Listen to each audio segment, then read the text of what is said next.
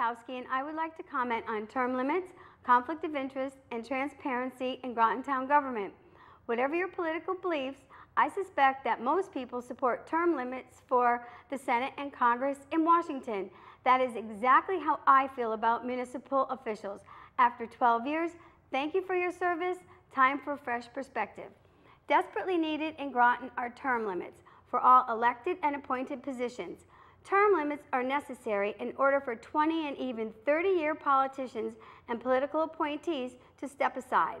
The fact that there are individuals who have been on the Board of Education, Town Council, RTM, and some commissions for two and three decades makes the case that there is no fresh perspective in Groton.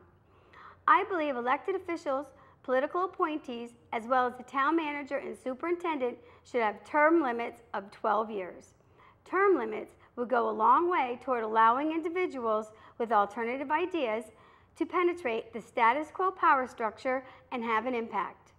Regarding conflict of interest, during the recent town council budget deliberations, Councillor Watson revealed that he had a conflict of interest in the registrar and Board of Education accounts because he works for both.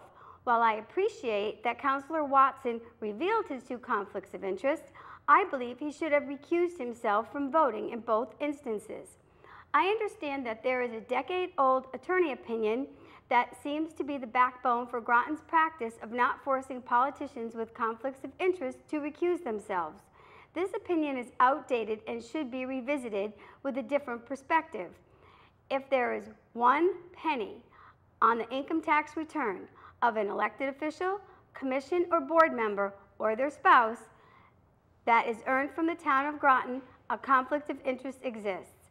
The individual not only must reveal the conflict of interest, but also must recuse themselves from voting in accordance with Robert rules, Robert's rules and the town charter.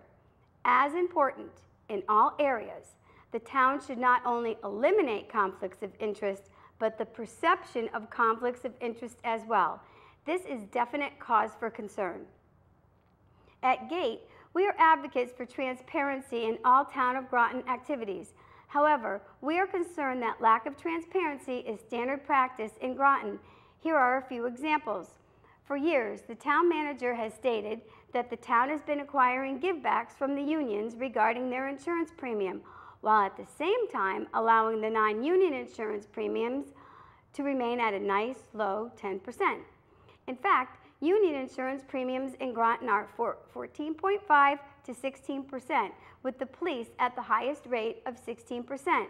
Add to that, at the last RTM meeting, the town manager stated that the union insurance premiums were 12 to 14%, which is not true.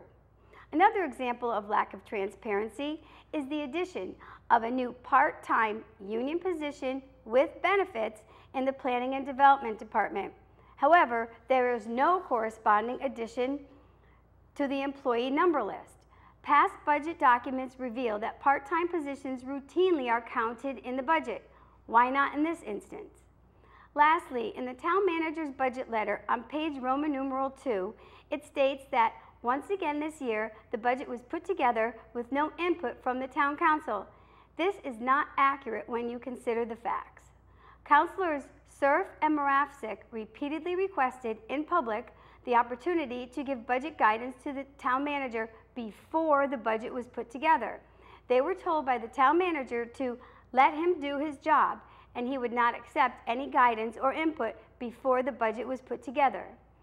Unfortunately, these examples highlight lack of transparency as standard practice in the town of Groton.